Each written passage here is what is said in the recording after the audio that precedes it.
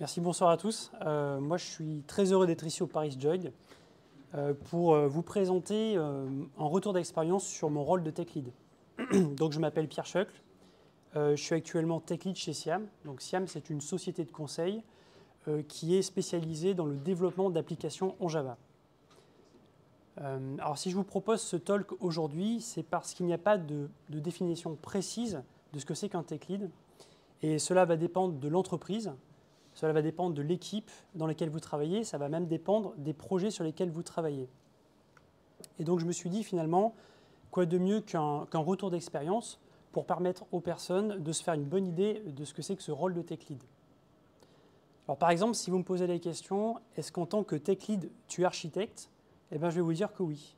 Parce qu'en tant que tech lead, j'interviens principalement sur des projets dont le but est de développer une nouvelle application.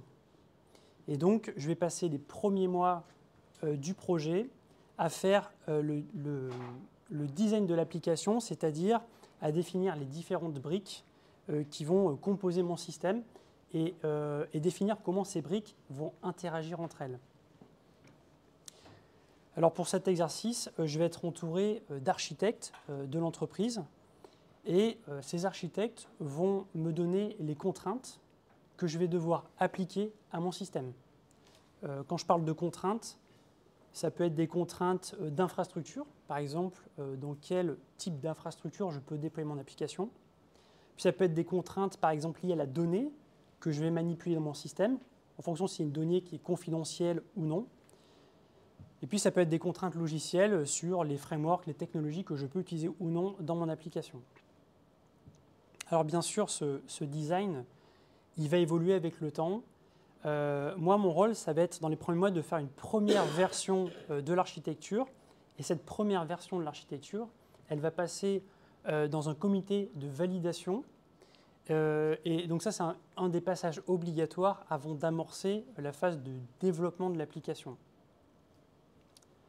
Et donc, tout au long du projet, je vais garder cette casquette d'architecte, mais d'architecte de l'application.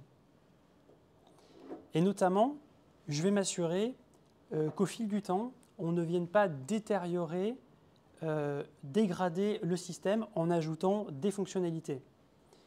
Donc pour éviter ça, je vais devoir avoir une bonne vision des fonctionnalités qui vont arriver prochainement dans l'application. Et ça, ça va me permettre d'anticiper euh, les éventuels changements à faire dans l'architecture et donc euh, d'éviter euh, des problèmes qui, ben justement, si on, on, rencontre ces problèmes, on va être obligé des fois de prendre des raccourcis, et ces raccourcis vont faire qu'on va rajouter de la dette technique dans l'application. Et donc je vais aussi veiller à ce qu'on euh, ne rajoute pas des nouveaux composants, on n'utilise pas de, nouvelles, de nouveaux frameworks parce que c'est cool et parce qu'on a envie de les essayer. par exemple, pardon, par exemple, euh, si on me propose euh, de mettre en place un, cache distribué dans l'application, ben, je vais challenger cette proposition en disant peut-être que le cache distribué va résoudre le problème de performance, mais finalement, peut-être qu'on peut déjà regarder dans notre base de données relationnelle, peut-être que le problème peut déjà être résolu sans avoir besoin d'alourdir le système. Euh, quand j'étais développeur, je n'avais pas encore ma, ma, casquette de tech lead, les problématiques d'architecture, c'était des choses qui m'intéressaient vraiment. Euh, et donc, j'ai appris des choses sur le tas, mais euh, je dirais qu'il y a un gap, il y a un vrai, une vraie montée en compétences qui va être nécessaire euh, pour être confortable dans cet exercice de, construire un système, de faire du système design. Et donc, si vous aussi, vous souhaitez, par exemple, vous êtes dans ce cas-là et vous souhaitez monter en compétence sur le système design, je vous recommande absolument de regarder le GitHub euh, donc, de System Design Primer, c'est le GitHub de Don Martin, qui euh, va vous, euh, qui contient à peu près une bonne partie de ce qu'il y a à savoir sur le système design, et en plus, ça vous prépare aux entretiens. Et puis, il y a le livre de, Roberto Vitillo, Understanding Distributed Systems, qui lui, comme c'est indiqué sur la, couverture, ben, propose, contient tout ce qu'un développeur doit savoir pour travailler justement sur du euh, système design, sur des systèmes distribués.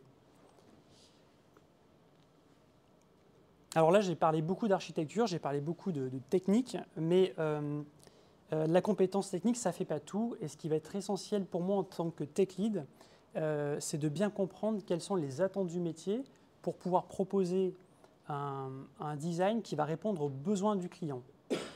Actuellement, je travaille sur un projet de refonte d'un système.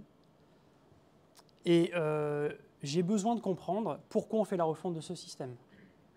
Euh, qu'est-ce qui ne fonctionne pas avec le système existant? Est-ce qu'il y a des fonctionnalités qui vont devoir être implémentées dans le nouveau système qui n'existent pas encore?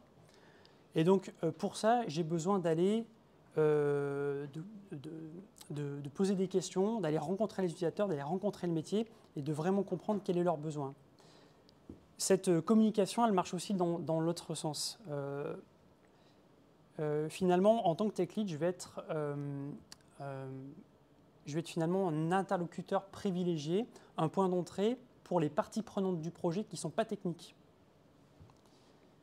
Par exemple, je vais être convié à des, à des réunions pour faire des études de faisabilité. Donc le client vient avec une solution en tête, et puis ben, moi je vais discuter avec lui, peut-être que je vais lui dire, voilà cette solution-là, euh, ne va, va, pas être faisable techniquement. Donc là, je dois vulgariser, je dois savoir expliquer au client qui n'est pas technique pourquoi cette solution n'est pas faisable. Au final, on va forcément trouver un compromis, mais en tout cas, euh, ça c'est une des facettes du tech lead, euh, c'est d'être un, bon communicant. Je dirais que c'est même euh, une des facettes les plus importantes du rôle. Alors, il y a des tâches aussi qui reviennent de façon récurrente. Par exemple, à chaque fin d'année, on va me demander d'estimer, de chiffrer le coût des développements de l'année suivante. Et également de contribuer à la feuille de route, euh, c'est-à-dire la roadmap qui va permettre aux clients d'avoir de la visibilité sur ce qu'ils pourraient avoir l'année suivante. Et donc je vais contribuer de deux manières euh, à cette roadmap. Je vais, euh, dans un premier temps, pouvoir conseiller du coup les parties prenantes qui ne sont pas techniques sur une répartition dans le travail. Si je sais qu'il y a deux équipes qui, s'il y a deux chantiers pardon, qui reposent sur l'utilisation d'une même technologie, ben, je vais pouvoir conseiller justement à ce que ces deux chantiers-là soient faits par la même équipe. Et donc c'est ce qui va peut-être un petit peu chambouler les plans au niveau de la, de la, roadmap. Et puis ensuite, je passe beaucoup de temps à faire des entretiens techniques euh, les entretiens techniques, en fait, pour moi, c'est aussi une manière de faire de la veille technique et de progresser. Parce que euh, des fois, je pose des questions, je viens avec euh, des réponses en tête, et puis finalement, les candidats arrivent avec d'autres réponses qui viennent finalement compléter celles que j'avais, voire la remplacer parce que je la trouve bien meilleure. Alors là, j'ai beaucoup parlé des différentes facettes techniques, mais je n'ai pas encore parlé de code. Et finalement, je ne vous cache pas que euh, devenir tech lead, c'est euh, faire un pas de côté par rapport, à par rapport, à son rôle de développeur. On dit qu'un tech lead doit coder à peu près 30% de son temps. Euh, moi, j'évite de coder seul pour la bonne raison que dans ce rôle de tech lead, on est souvent interrompu et je ne vais pas m'engager sur des deadlines. Par contre, ce que je vais essayer de faire, c'est passer au moins 30% de mon temps à avoir de l'impact sur le code accompagner les développeurs, faire du pair programming, participer au code review, rédiger avec eux des guidelines sur les, bonnes pratiques qu'on souhaite mettre dans le projet. Après tout ça, ça va dépendre, je dis 30%, mais ça va dépendre aussi euh, du contexte. Euh, euh, dans ma précédente expérience, quand j'ai démarré en tant que tech lead, on il n'y avait qu'une équipe, il y avait 4 à 5 développeurs, j'étais un tech lead de proximité, et c'était assez facile pour moi d'avoir une proximité avec le code, les mains dans le code. Et puis, à un moment donné, on était sept équipes de développement. Et puis, donc à ce niveau-là, j'étais plutôt un tech lead un peu global du projet. Et finalement, j'étais plutôt sur des problématiques de coordination, des problématiques de répartition du travail, d'organisation du travail. Et donc là, forcément, je, je, développais plutôt mes soft skills au détriment un petit peu de mes, compétences techniques. Et justement, on voit bien que tech lead, c'est un rôle qui euh, finalement euh, peut tendre assez naturellement vers le management. Et donc du coup, on va arriver à la question, est-ce que je souhaite rester dans la technique ou est-ce que je souhaite devenir manager? Finalement, cette question-là, je ne me la suis pas vraiment posée, puisque quand on m'a proposé de devenir manager, j'ai accepté, c'était pour moi un petit peu la suite logique des choses. J'avais eu un, rôle de tech lead euh, qui n'avait cessé de prendre de l'ampleur au fil, au fil des années, et finalement, devenir manager, c'était un petit peu le, le, cran supplémentaire. Euh, et donc je ne regrette pas du tout d'avoir exploré le management. Euh, par contre, en fait, je me suis vraiment rendu compte que la, composante principale de mon métier avait soudainement changé. quand on est manager, même si on est dans un environnement technique, bah, les journées passent vite et finalement, il reste peu de place pour la technique. Et donc c'est pour ça que cette expérience m'a permis de, comprendre que finalement la composante technique, c'était la composante qui était vraiment euh, indispensable pour moi.